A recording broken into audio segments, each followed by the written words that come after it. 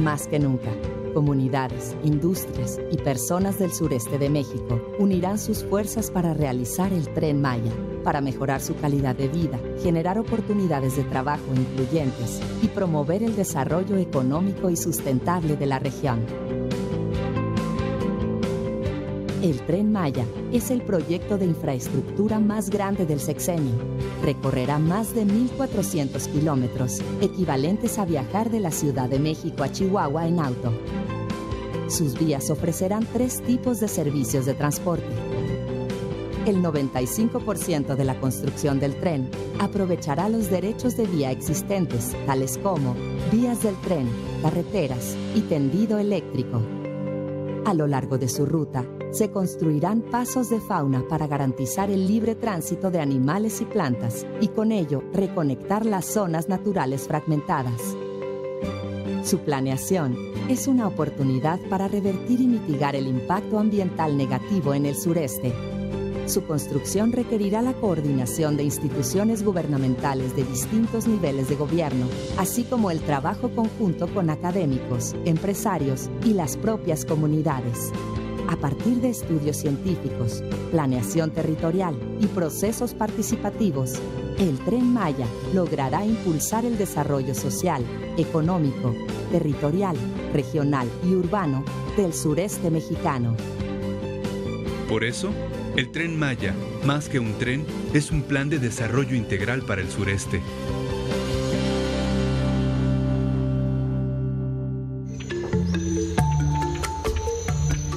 Como habitante aquí de Calakmul me gustaría que se mejorara las infraestructuras que ya existen.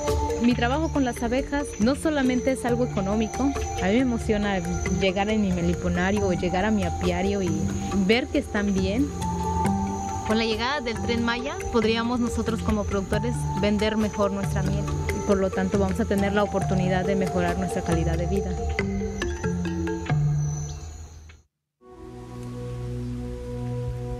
Soy artesana elegido 20 de noviembre. No toda la gente conoce lo que hace 20 de noviembre.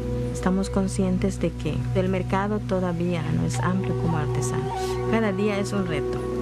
El tren Maya es una opción, ya lo vemos nosotros como un eslabón para que nosotros podamos dar a conocer y comercializar nuestros productos. Palenque ahorita está pasando por una crisis de falta de turismo. El tren Maya nos va a traer beneficios. Nos va a traer turistas nacionales, foráneos y nos va a traer pues divisas. Nosotros como inversionistas le damos pueblo trabajo. El tren nos va a hacer más fuertes para darle más trabajo a la gente.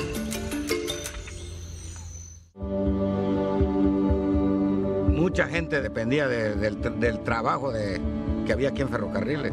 Esto era un patrimonio ahí para, para nuestros hijos y todo eso, mira, se acabó con la privatización de los ferrocarriles. El tren Maya va a venir a darle un, buen auge aquí al sureste, va a traer beneficios y fuentes de empleo, va a mejorar la calidad de vida de la gente.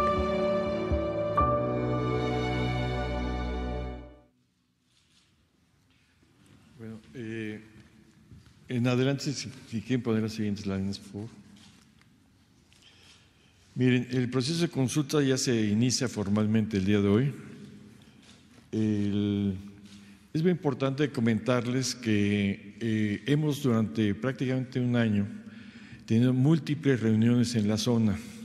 Ha habido reuniones con académicos, con universidades, con gremios, con estudiantes, con comunidades fundamentalmente, con grupos de toda índole, con ONGs, a lo largo de todo, estos- todo este tiempo. O sea, ha habido un proceso preliminar e informal, se podría decir, pero sí ha habido desde un principio, desde hace mucho tiempo, contacto con comunidades, hemos recogido opiniones, hemos vertido cuáles han sido las intenciones durante todo este proceso. Ahora, eh, como ustedes podrán ver, el uso de derechos de vía existentes, eh, vías férreas, eh, de transmisión eléctrica y carreteras es donde se fundamentará todo esto. Se estima una inversión total de 120 mil millones de pesos, como ya se ha estado avisando, y estamos hablando de una población de 12 millones de habitantes y eh, en una zona que llegan aproximadamente 17 millones de turistas al año. El tren Maya, como insistimos, es una oportunidad para saldar la deuda histórica del país con el sureste de, México. La que sigue, por favor. Unos factores fundamentales es el ordenamiento territorial. Eh, es para llevar a cabo procesos de planeación con participación ciudadana, privilegiar el respeto al medio ambiente y la inclusión social, promover un modelo de desarrollo territorial equilibrado y sostenible para conectar las comunidades, garantizar el derecho al espacio público y a la movilidad, generar oportunidades equitativas para las comunidades. En cuanto al medio ambiente, es utilizar los derechos de vía existentes, aplicar programas como Sembrando Vida, construir pasos de fauna y proteger los corredores biológicos, proteger los recursos hídricos y acuíferos, en particular cenotes y ríos subterráneos, respetar las reservas ambientales, implementar sistemas de alerta sobre la vía para protección de la, fauna. En cuanto al desarrollo económico, integrar a las comunidades a cadenas productivas y generar valor agregado a sus productos, incorporar a pequeños productores del campo a nuevos mercados, reducir los costos de transportación, aumentar la conectividad digital, facilitar el acceso a los mercados laborales y generar nuevas oportunidades económicas. En cuanto al patrimonio cultural, respetar y promover las tradiciones y expresiones que identifican a los pueblos originarios, facilitar el acceso a múltiples zonas arqueológicas y poblaciones de valor turístico, impulsar la creación de rutas gastronómicas y artesanales, promover prácticas sustentables y formas alternativas de turismo, redistribuir los flujos turísticos por toda la región. Ahora, yo le pediría aquí, para que nos describiera, este, aquí a, la subsecretaria Diana, que nos hiciera un, resumen de los trabajos que ha, venido coordinando. Gracias. Muy buenos días a todos. En esta ocasión, el proceso de consulta eh, para el proyecto de Tren Maya se va a componer tanto de un ejercicio participativo como de una consulta indígena. En este caso, eh, convocan y organizan tanto Fonatur, el INPI y Gobernación. En cuanto al objeto del ejercicio participativo, se busca promover la participación ciudadana con información adecuada, oportuna y accesible con respecto a este proyecto y, desde luego, eh, fortalecer, como lo comentó el presidente, la democracia participativa y eh, generar estos consensos y cohesión social en toda la zona. Para ello, previo a la jornada, vamos a realizar brigadas informativas para sensibilizar a la población sobre la importancia de su participación y proporcionarle información del proyecto. El 15 de diciembre del presente año se van a instalar módulos de participación ciudadana en los estados de Chiapas, Tabasco, Campeche, Yucatán y Quintana Roo para recibir eh, esta participación a través de casillas en la que pueden expresar su opinión.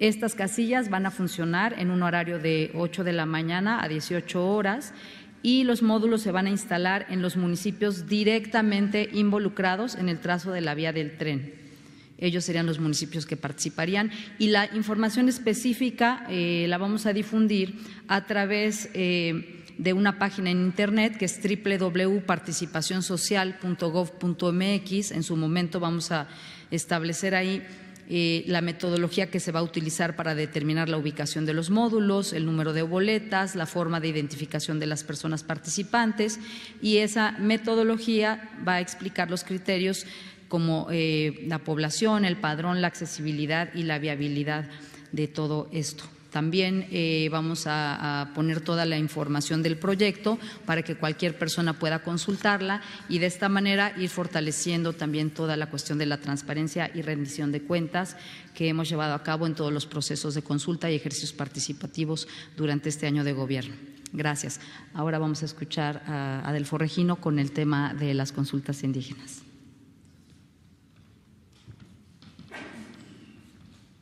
Permiso, presente.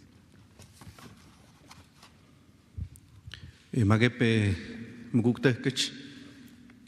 Muy buenos días, hermanas y hermanos de los medios de comunicación. Con su permiso, señor presidente, eh, tal como ya lo ha anunciado aquí el arquitecto Rogelio Jiménez Pons y la subsecretaria Diana Álvarez, en complemento a esta jornada de participación ciudadana, eh, de manera específica eh, se va a realizar la consulta indígena, que como ustedes saben Esto así está establecido en las leyes, particularmente en el convenio 169 de la OIT sobre pueblos indígenas. Y eh, a este respecto se ha definido el objeto de esta consulta, que consistirá fundamentalmente en tener un diálogo directo con las comunidades indígenas que están ubicadas en el trayecto del eh, proyecto de desarrollo del tren Maya. Y esto con la finalidad de que podamos construir los acuerdos para que puedan participar las comunidades y en un tema tan importante como es la cuestión de los beneficios justos y equitativos que puedan derivar de un proyecto tan importante como el que ha sido descrito. En cuanto a los sujetos de la consulta, eh, esto, como ya ha sido dicho por el señor presidente, va dirigido específicamente a las comunidades indígenas y estaremos convocando a sus autoridades e instituciones representativas, fundamentalmente a los comisarios municipales, a las autoridades ejidales y comunales, a las autoridades tradicionales. Ustedes saben que en la zona maya particularmente eh, hay un sistema de cargos asociado pues a esta eh, eh, forma de organización tradicional que tienen las comunidades. Hemos ubicado alrededor de 3.425 localidades indígenas con más de con 40% y más de población indígena que son los destinatarios de este proceso de consulta. Y como ha sido dicho, pues esta consulta será realizada en coordinación con FONATUR, que es la autoridad responsable del proyecto,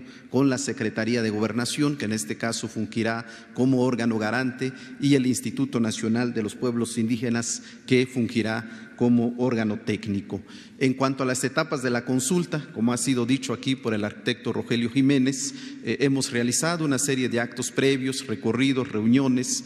En particular, se ha elaborado un protocolo de consulta, que es el que va a sustentar todo este proceso, y también se ha hecho un ejercicio de regionalización para ubicar las 15 eh, sedes de las asambleas con el mismo número que serán realizadas en este proceso de consulta.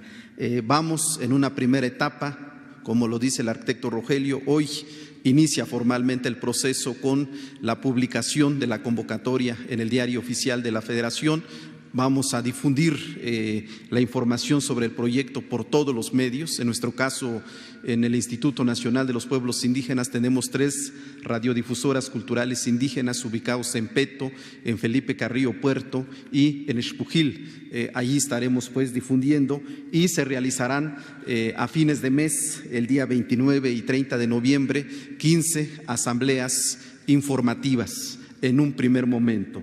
Después las comunidades pues eh, reflexionarán la información que se les proporcione en sus reuniones, en sus asambleas respectivas. Y eh, un tercer momento será ya la asamblea consultiva que se realizará el día 14 y 15 de diciembre. Esta última fecha coincidirá con el ejercicio de participación ciudadana coordinada por eh, la subsecretaria Diana Álvarez.